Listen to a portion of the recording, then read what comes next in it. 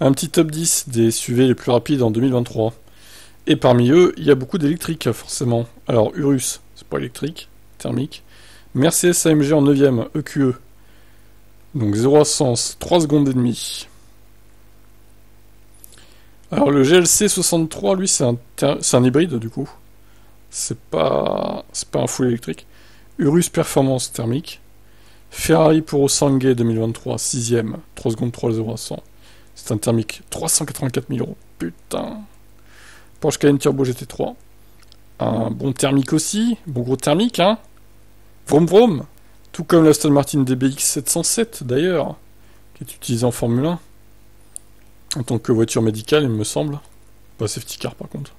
Rivian R1S 2023. Bon là, on arrive sur les électriques, hein, forcément. 3 euh, tonnes 2 quand même. Gros bébé. Lotus Electre R, 2 secondes 95. Et enfin le modèle X-Plade. 2 secondes et demie pour ce tank électrique, 1020 chevaux, incroyable. Voilà pour ce top 10, il n'y avait pas trop d'actu aujourd'hui, donc un petit top 10 hein, de temps en temps, ça fait plaisir. Ciao